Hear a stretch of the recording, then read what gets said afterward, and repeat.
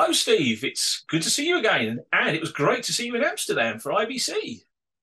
Kevin, yes, it was a lot of fun. I love going to IBC and seeing everybody, including yourself.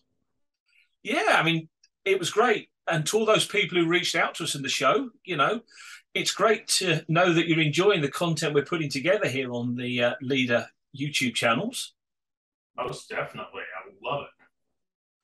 So, Steve, during the show, one thing, or seemed to be a common theme that was striking me, is people were wanting to know how the knowledge that they've kind of accrued over the over a number of years in the SDI world and how that's still relevant in this new brave world of IP.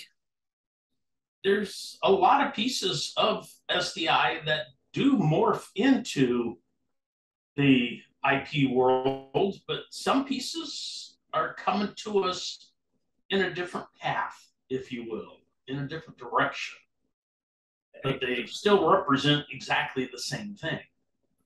Right.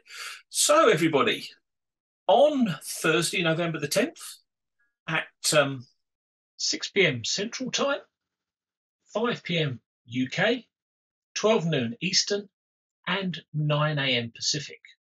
Steve and I are going to talk about session description protocol files and the video payload ID under the great title of Show Me Your SDP and I'll show you my VPID.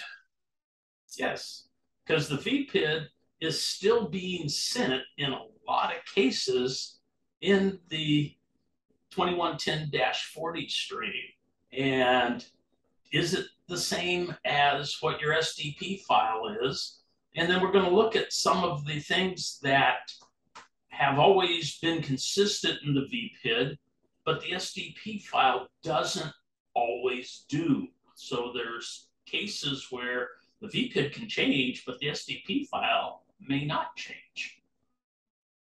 Well, I think we've whetted everybody's appetite. So we look forward to seeing you on Thursday, November the 10th, when we'll talk about this and expose a lot more and how the test and measurement products that Leader are making can help you migrate from the world of SDI video into the world of IP. Steve, yeah. I look forward to seeing you.